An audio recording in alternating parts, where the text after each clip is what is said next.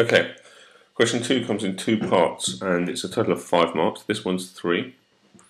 And we've got to work out the difference between these two numbers. Well, if we work out the actual numbers first, if everything is uh, 350 for that one, 10% means I divide it by 10, which is 35.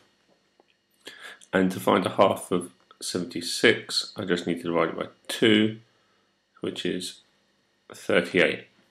So it's one mark for each of those, and then the difference means, well, it's kind of obvious. You just got to do 38 minus 35, or work out how to get from one to the other, and the final answer is just 3.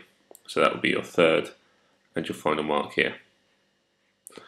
Part B asks you to write them in order of size with the smallest first. Well, we need to convert them all to the same thing. So we convert them all to decimals, or we convert them all to fractions, or we convert them all to percentages.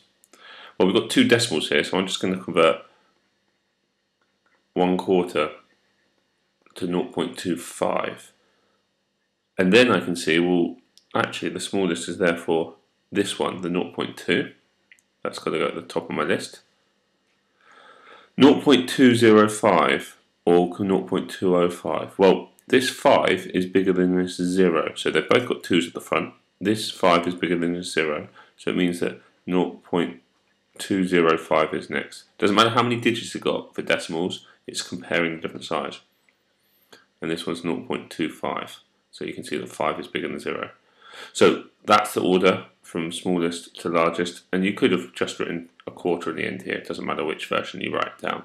Okay, two marks. Total of five for that question, and that's okay. I think I think that question bit's uh, not too hard.